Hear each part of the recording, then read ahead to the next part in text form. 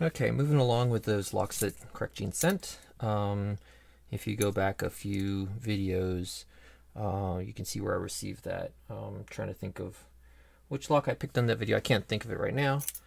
Um, I think it was the show, show X key though. Um, so for this one, uh, West 917, it is a lock that has 20 pins in it. It's got um, seven along the top uh, with just it's got a mix of um, spools and um, standard pins in here. And the key pins and number like when you have a standard pin here you, the key pins have a taper with like a spool to them. So they feel like um, they give you the counter rotation as, if it's one of the driver spools try to mix you all up. Uh, the left and right they have counter milling in them. Um, they also have that same deal with the drivers and the the spools the standard drivers with the spooled key pins or the spools uh, on the drivers. And there are, um, trying to think, there are seven down the left and six down the right, I think. So seven, seven, six for a total of 20. Anyways, to get into this, uh, I got my normal tensioner that you might be used to.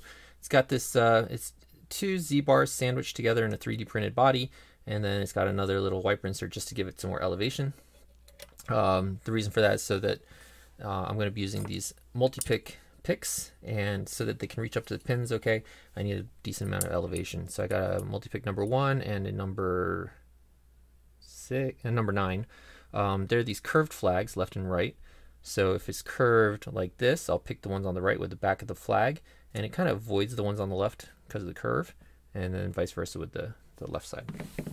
For the top I'm going to use um, these thick boys. Uh, I got a hook number one from Peterson, 25 thousandths, and this um, steep hook SS Dev from Sparrows. And uh, all right, let's let's get to picking anyways. This one could take quite a while. Hopefully not. So I'm gonna start on the right side. And standard fare, feel the, the feel the pin. If it's bound solid, pick it. If it springy, even the slightest bit, you know, don't push on it. So one is springy, two springy, three springy, four is barely springy, five is hard to get on but is binding. No, I slipped off of it. Click from five, another click. So what often happens is that either um, one that was a standard basically, and another standard nearby is like a barely lift, like it's almost like a zero lift, but you barely got to touch it to set it, and either one or two of those uh, ended up getting set. I'm trying to pull the, the pick out, but I get I get stuck here, so that means that something up here is probably binding and not letting my pick pass, whereas before it wasn't binding, which let my pick my pick get through. All right, so pin three.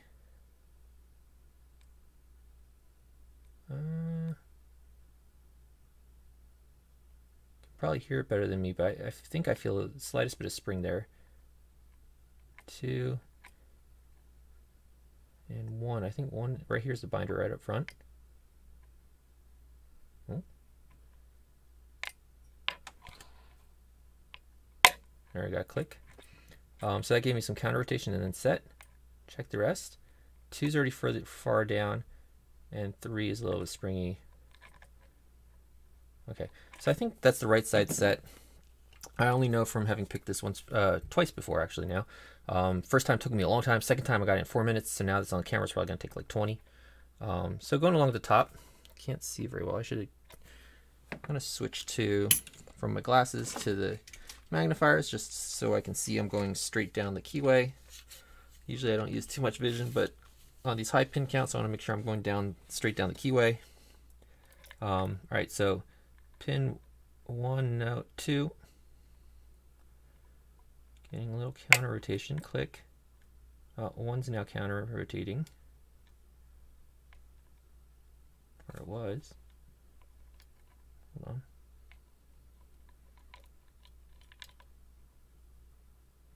I'll leave one alone, I'll come back to that.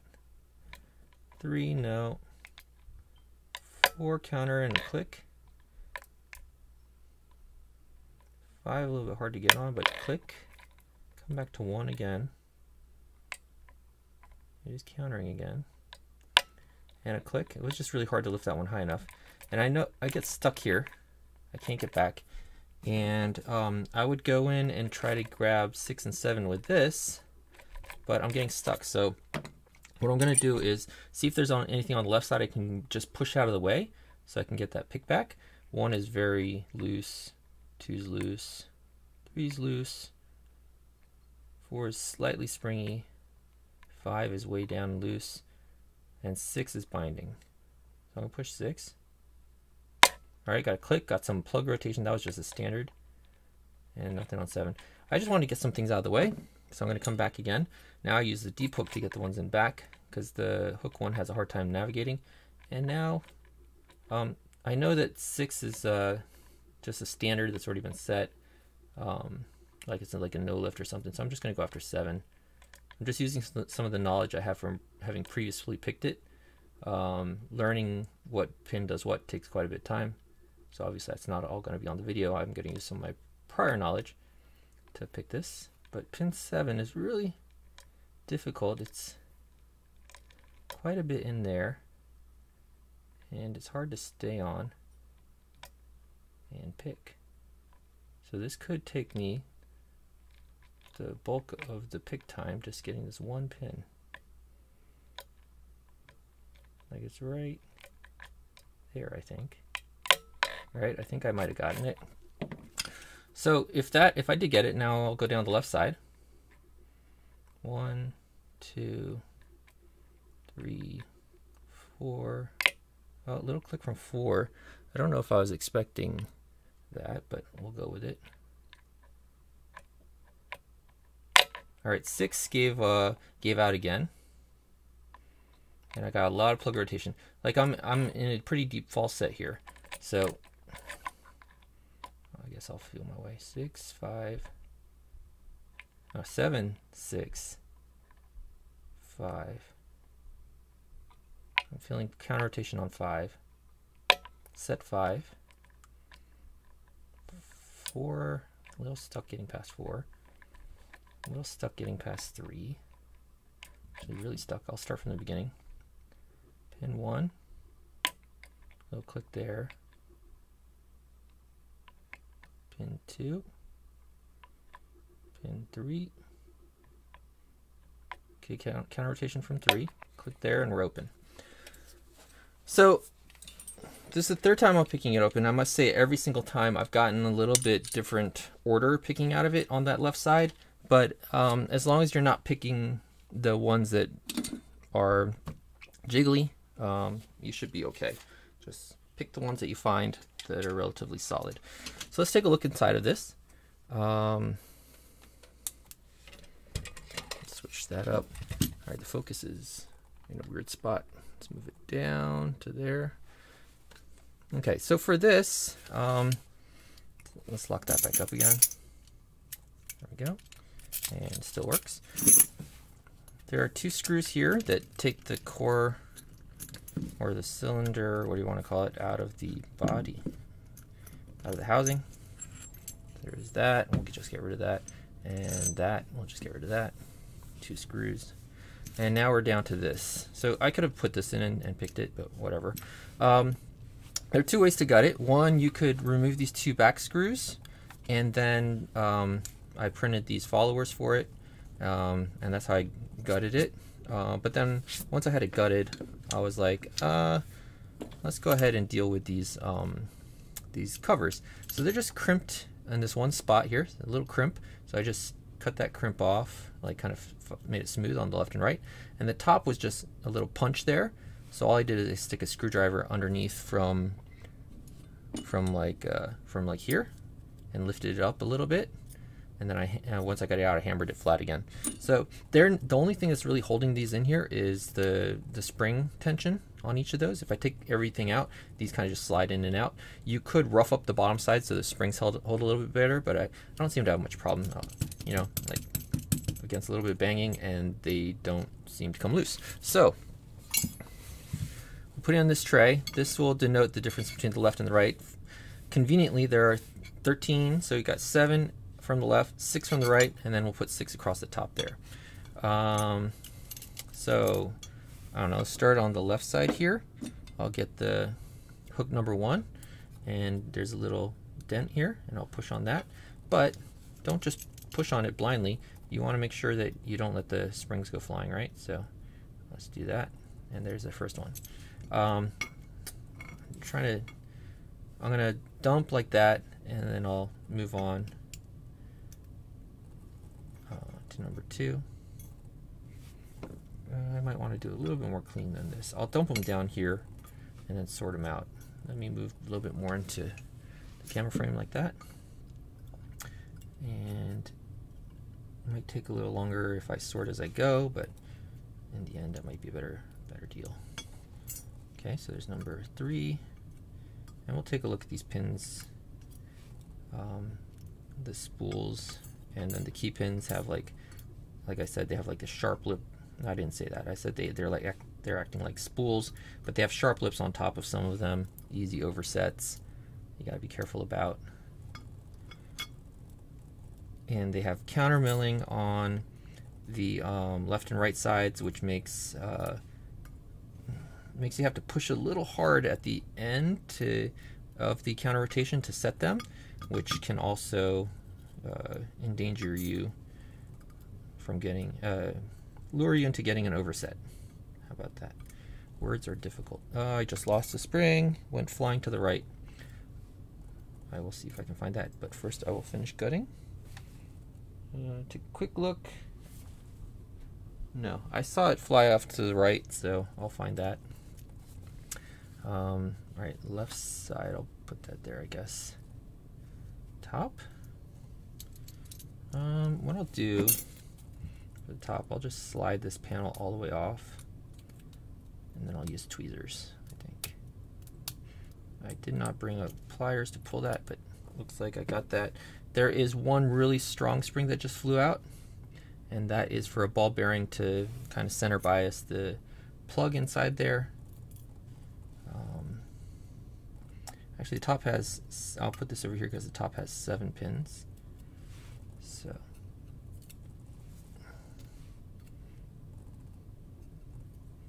grab all these okay. They're all the same. They could dump the springs, but I like that I've maintained the, the sort order that they were originally in here in. Except now I just dropped one. There's that. That nice. All right, ball bearing and the first, uh, well, the last driver. Come on. And that ball bearing there, last driver goes actually there. Let's see if I can get that.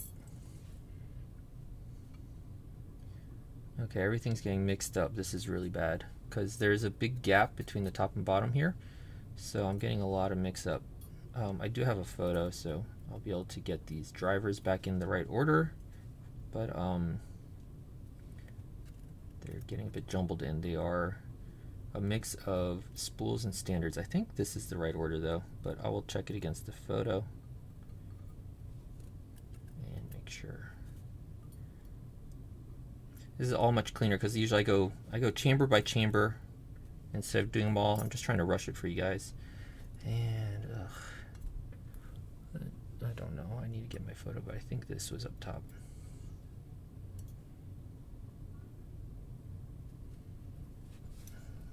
I'm going to go ahead and cover and try to dump one at a time now. This is what I should have done. Don't rush it. Don't feel pure pressure to rush it like I am because it just causes a mess.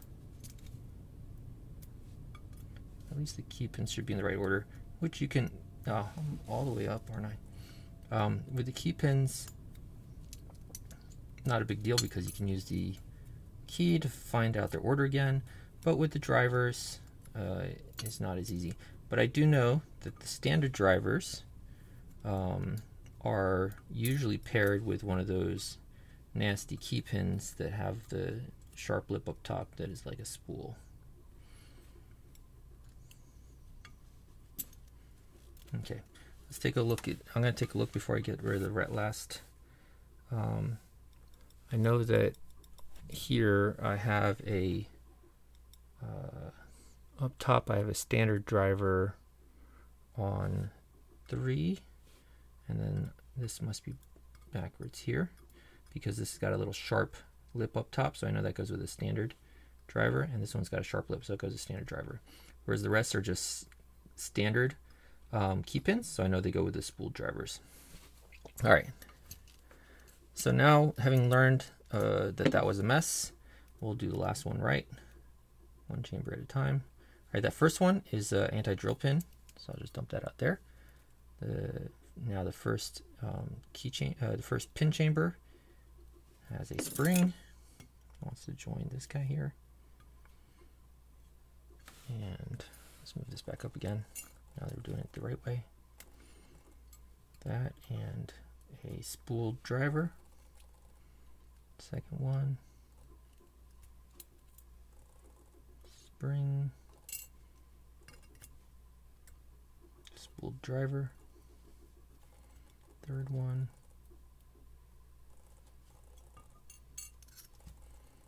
Spring spool driver, standard key pin. Fourth one has a standard driver. That means this one will probably have one of those spooled looking key pins. It does. Next one oh, almost got two there. Spring standard driver. Grab the spring from this last one that was wanting to pop out. Close them back up so I can grab the key pin. The one previous. There we go. One more chamber. Sorry, it takes forever to get these high pin counts. Alright, so there's the last chamber. I have to find that one missing spring. We'll pull the plug out so we can take a look at that. That's that right side. Pull the plug out in a second. That's the top side, and there's the left side. Um, get the plug. Two more screws here. Only lightly screwed in. Big old tailpiece on here. and the plug. So the plug, like I said, has um, counter milling here on the right chambers. Not to be confused with that little ledge further down there. That's to stop the key pins from falling in. That's why these all have like a ledge to them. Um, same thing on the left side. It's got that counter milling, but the top does not have it. You see? Nothing on the top that is the it had a um, anti-drill right there and it's got this pin here in the back I don't know what that's for uh, looks like it stops you from okay that might be like a anti-bypass piece with, with that in place I can't get to the back of the I can't get to the back of the lock if that wasn't there I could go all the way to the back of the lock and maybe mess around so that might be what that is for key pins, uh, or all the pins. Here we go. We'll take a close-up look at, most of the pins are like this. They're this, um, I don't know if you can see that sharp uh, lip at the bottom. They're the, a, a, spool. Maybe that way around you can see it. See that sharp lip there? And then they're tapered down to it. Um, so that's the spools. They have a hollow top so they can fit in shorter Bibles and fit the spring. Um, then you have just your standard drivers. Come on. Oh my goodness. All right. Standard drivers. Again, hollow on the top. And I'm just losing everything. Uh, for key, so those are the driver pins. Then for key pins, your standard. Your standard key pins are like this. They they do have that step, but that's just so that they can rest on the ledge and not fall into the uh, keyway. They do have a little bit of a, a taper on the top there as well to um, give you a little counter rotation if you push on them, just to encourage making stuff drop. And then you have these that are usually paired up with standard drivers, and they have a, a sharp lip up top there, right? And then the really uh, there's one more. Instead of a sharp lip up top, it has a kind of a taper to give you counter rotation and then drop you into this area. And then taper again to give you more counter rotation. Um, so a lot of nasty stuff in here. Uh, only a few locks left from CJ. We'll see if we can hit him or not. I don't know. I've been picking kind of a lot lately. So that is the West 917. And I have to go find that spring. Thanks. Bye.